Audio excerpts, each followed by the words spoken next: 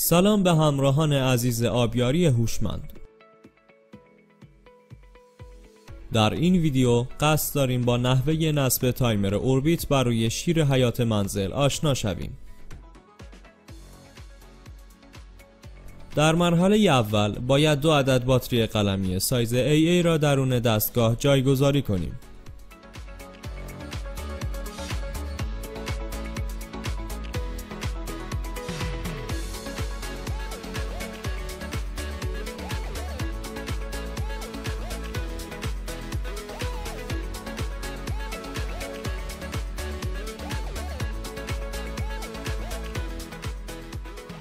در مرحله دوم باید سرشیلنگی را از روی شیر آب باز کنیم.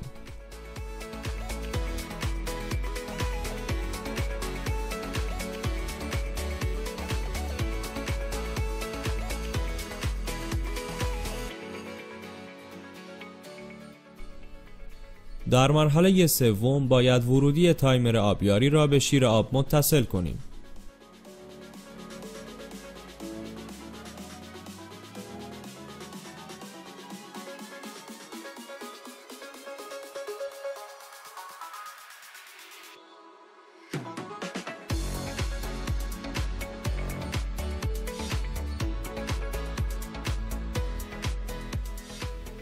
در مرحله چهارم باید رابط شیلنگ را به خروجی تایمر آبیاری متصل کنیم.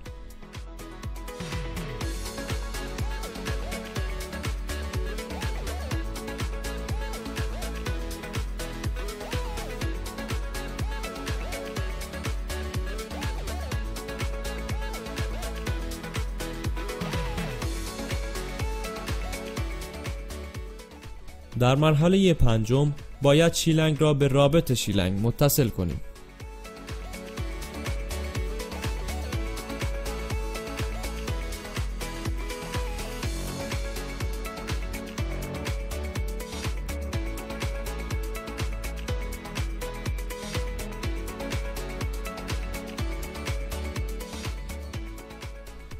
و در مرحله ششم شیر آب را برای همیشه باز می کنیم.